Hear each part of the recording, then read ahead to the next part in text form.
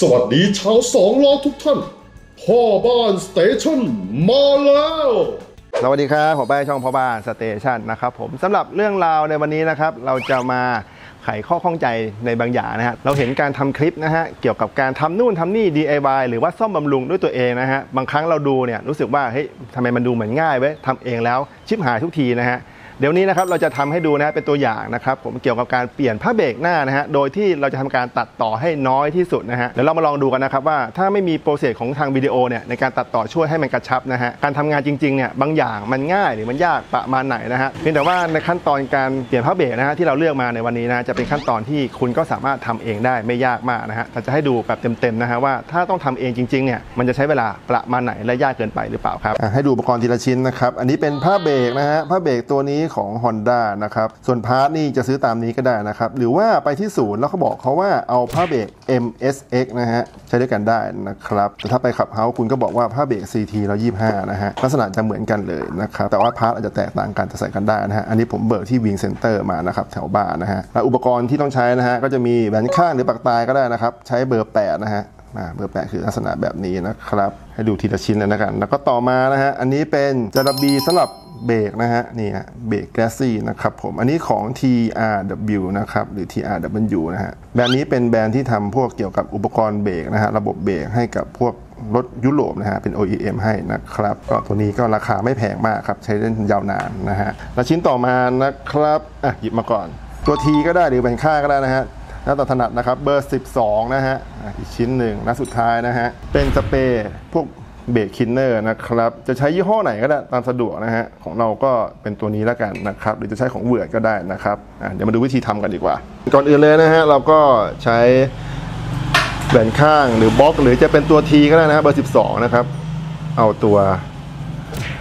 ขายึดคาลิปเปอร์ออกมาก่อนนะครับ ค่อยๆทำไปนะฮะ อันนี้เราจะพยายามทำให้ดูแบบช้าๆนะครับสำหรับบางท่านนะฮะ ที่เคยคอมเมนต์กันมาว่าบางคลิปพี่ทำเร็วจังเลยทำตามไม่ทัน หรือว่าเอ๊ะทำไมมันดูมันง่ายจังเลยนะฮะเพราะว่าบางทีมีการตัดต่อนะฮะในวิดีโอ เราก็จะให้ดูแค่ขั้นตอนที่สำคัญสำคัญนะฮะแต่คลิปนี้เราจะพยายามทำให้ดูแบบช้าๆและหลีกเลี่ยงในการตัดต่อนะจะได้รู้ว่าจริง ๆ แล้วการทำด้วยตัวเองเนี่ยบางอย่างมันยากจริงๆครับดู YouTube เหมือนจะง่าย แต่บางอย่างก็ไม่ได้ยากจนเกินไปนะฮะอย่างตัวนี้ก็ไม่ยากจนเกินไปนะครับ สามารถทำเองได้ที่บ้านนะฮะในการเปลี่ยนผ้าเบรกนะครับ อะเรียบร้อยนะฮะน็อตยึดคาลิปเปอร์ออกมาเรียบร้อยนะครับหลังจากนั้นเราก็ขยับตัวปั๊มเบรกออกมาได้เลยนะฮะอะดูช้าๆกันไปช้าๆตอนที่ปั๊มออกมาอย่าไปบีบคันเบรกเล่นนะฮะเดี๋ยวลูกสูบมาทำงาน ต่อมานะครับ เราก็ทำการปลดขายึดผ้าเบรกนะฮะอันนี้ใช้แหวนข้างเบอร์ 8 นะครับ ค่อยๆหมุนออกมา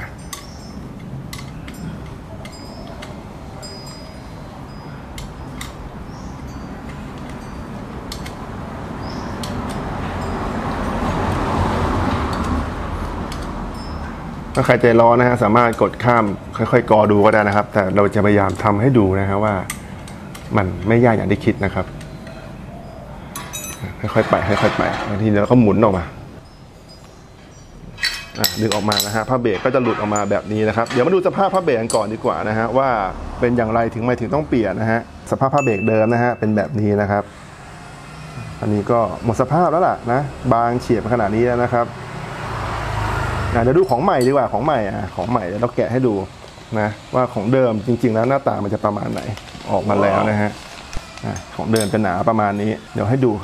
เทียบเทียบด้านข้างแล้วกันนี่คือของใหม่นะฮะของใหม่จะเป็นแบบนี้ถ้าเราเบิกมา หนาปัก นะส่วนอันนี้คือที่เราใช้ไปแล้ว แผ่นเหล็กไม่ต้องสนใจดูที่เนื้อผ้าเบรกถ้ามันสึกจนร่องมันไม่มีเนี่ยเราก็ทำการเปลี่ยนได้แล้วล่ะนะฮะไม่ต้องรอจนแบบถึงเนื้อเหล็กนะฮะเดี๋ยวจานจะโดนกินไปด้วยนะครับ อันนี้ก็เริ่มจะไม่เห็นร่องแล้ว ถึงเวลาที่ควรจะเปลี่ยนได้แล้วนะครับไหนๆก็ลื้อมาแล้วนะฮะเราก็จะทำความสะอาดขายึดด้วยนะครับแบบนี้เลยนะแล้วก็ดึงออกมาตรงๆได้นะครับ แล้วก็มีสปริงมันจะมีสปริงอยู่ไอแผ่นเนี้ยไอแผ่นตัวเนี้ยจะเป็นตัวกด ผ้าเบรกนะฮะเราก็ต้องเอาออกมาด้วยในการทำความสะอาดนะครับให้ดูก่อนนะฮะข้างในเนี่ยเมื่อกี้เราให้เห็นแผ่นสปริงแล้วแต่ว่าลูกสูบมันอยู่จริงๆเราดันลูกสูบกลับเข้าไปก็ได้นะฮะแต่ว่ามันยังมีสิ่งสกปรกอยู่ในลักษณะแบบนี้นะฮะสิ่งสกปรกอยู่แบบนี้ถ้าเราดันกลับเข้าไป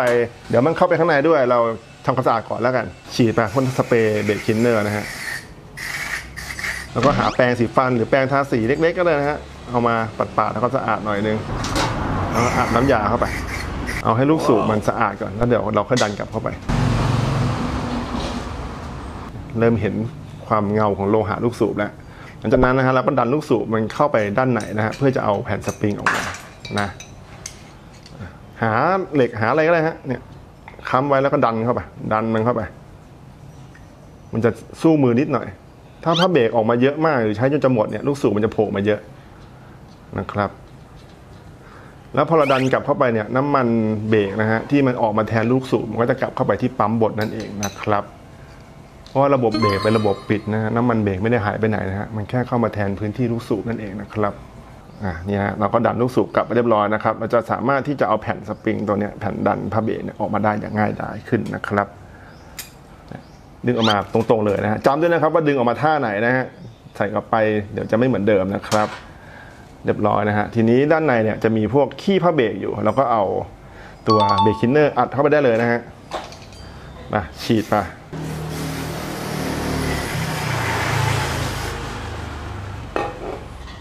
มันจะมีพวกเศษขี้ผ้าเบรกอะไรต่างๆนะฮะหลุดออกมานะครับ แล้วก็หาแปรงมาปัดๆทำความสะอาดนิดนึงนะฮะอย่างที่บอกนะครับว่าจะเป็นแปรงสีฟันหรือจะเป็นแปรงทาสีอะไรก็ได้นะฮะ ต่อไปก็สปริงนะฮะ แล้วก็อัดตัวสเปรย์เบรกคินเนอร์ไป มันก็จะมีเศษผ้าเบรกอะไรพวกนี้หลุดออกมาด้วยนะฮะฉีดเสร็จก็เอาผ้าเช็ดเอานะมันจะไม่กลับมาใหม่เหมือนเราซื้อรถมือหนึ่งแน่นอนนะก็จะมีคราบอะไรลงเหลืออยู่บ้างนะครับ แต่ก็ดีขึ้นกว่า ถ้าคุณไม่ทำความสะอาดมันนะครับ เพราะว่าตัวนี้ถ้าเราไม่ทำความสะอาดแล้วมันเกิดอุบิเหตุมันจะไม่ดันผ้าเบรกนะผ้าเบรกอาจจะไม่คลายตัวนะครับ เวลาเราใช้งานเบรกนะฮะ ก็อาจจะเป็นที่มาของผ้าเบรกติดได้ด้วยเหมือนกันนะครับสำหรับแผ่นนี้นะฮะสำคัญอยู่นะครับ ต่อมาก็ที่ขายึดคาลิปเปอร์นะฮะล้างแกนมันนิดนึง เดี๋ยวตัวนี้ก็อาจจะระบีใหม่นะฮะขายึดมันจะให้ตัวได้นะครับ นิดหนึ่งนะฮะตอนนี้เราก็ทำความสะอาดแกนมันก่อน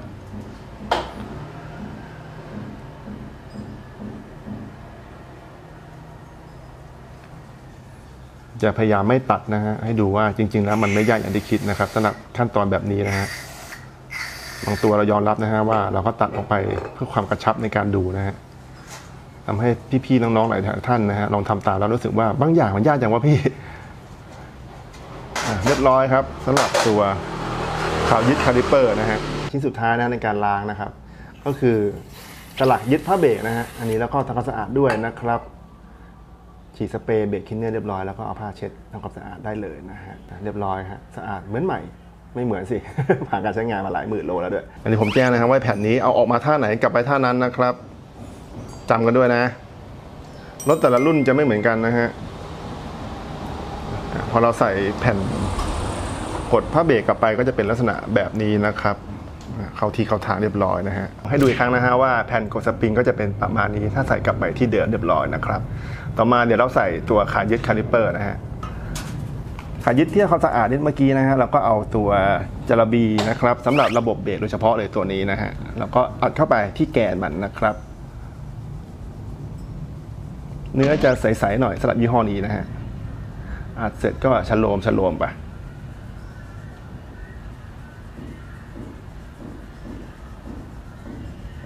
แล้วก็อีกฝั่งหนึ่งนะฮะ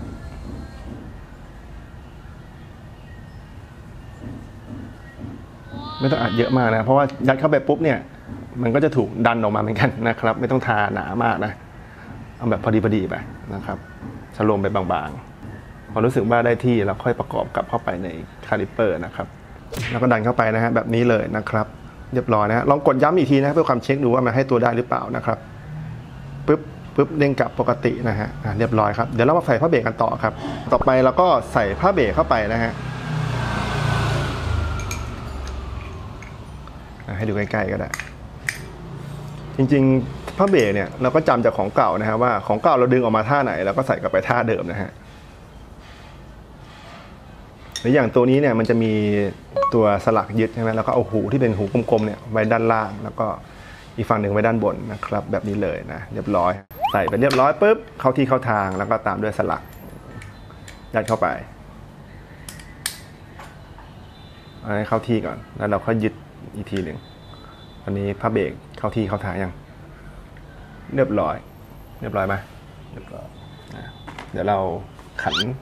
ยึดอีกสักนิดหนึ่งนะกันใช้เบอร์แปดนะฮะตรงนี้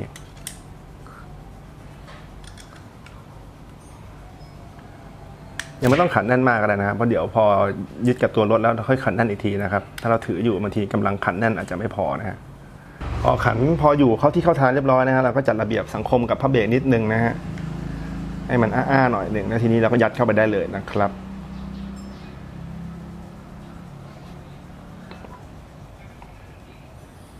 มาจัดเข้าที่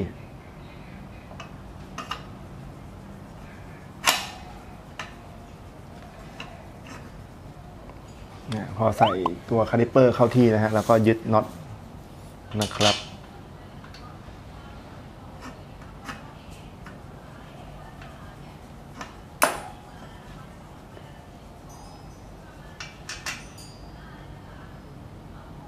ขันมือนำเข้าไปก่อนก็ได้นะฮะตามความถนัดแล้วก็เราค่อย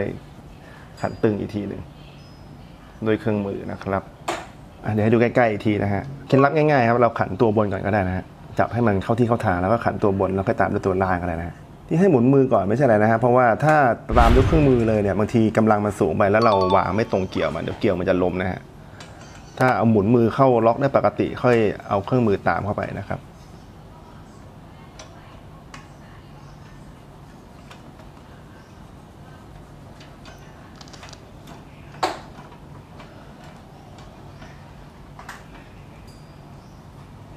เอาขันยึดทั้งบนทั้งล่างให้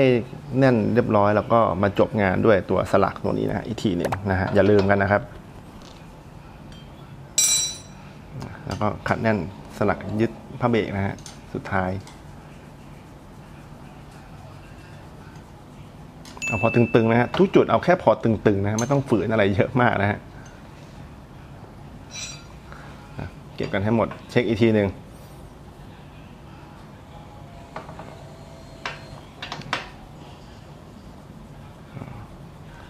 เคเรียบร้อยครับสำหรับการเปลี่ยนผ้าเบรกด้วยตัวเองแบบไม่ค่อยตัดต่อนะฮะง่ายๆนะครับก็จบแล้วนะครับกับการเปลี่ยนผ้าเบรกโดยที่ทำการตัดต่อให้น้อยที่สุดนะครับผมส่วนขั้นตอนอื่นๆหลายๆขั้นตอนนะฮะที่เราเคยทำนะฮะไม่ว่าจะเป็นพวกตั้งวาล์วตั้งโซ่ เปลี่ยนล้อหรือ ถ่ายน้ำมันเครื่องในบางครั้งในบางเทปนะฮะจะมีการตัดต่อช่วยเพื่อให้เนื้อหาวิดีโอกระชับนะฮะรวมไปถึงช่องอื่นๆด้วยนะฮะเกี่ยวกับการ DIY บางอย่างเนี่ยบางทีเขาไม่ได้ให้เราดูทุกขั้นตอนหรือว่าเต็มเวลานะฮะเพราะว่าข้อจำกัดในการดูด้วยนะฮะบางคนไม่ชอบดูเต็มๆยาวเกินไปก็จะเบื่อนะฮะทางผู้ผลิตนะฮะหรือเจ้าของช่องก็จะทำการตัดให้กระชับลงนั่นเองนะครับโอเคครับสำหรับเรื่องราวในวันนี้ก็ประมาณนี้แล้วกันนะครับ ส่วนอุปกรณ์ต่างๆนะฮะไม่ว่าจะเป็น brake cleaner หรือว่าจะเป็นจาระบีอะไรพวกนี้นะฮะเดี๋ยวผมทิ้งลิงก์สั่งซื้อไว้ที่ description ด้านล่างเช่นเดิมนะครับสำหรับเพื่อนๆที่อยากทำเองนะฮะส่วนเทปหน้าจะเป็นอะไรนะฮะยังไงก็โปรดติดตามรับชมกันด้วยนะครับสำหรับวันนี้ไปแล้วครับ สวัสดีครับ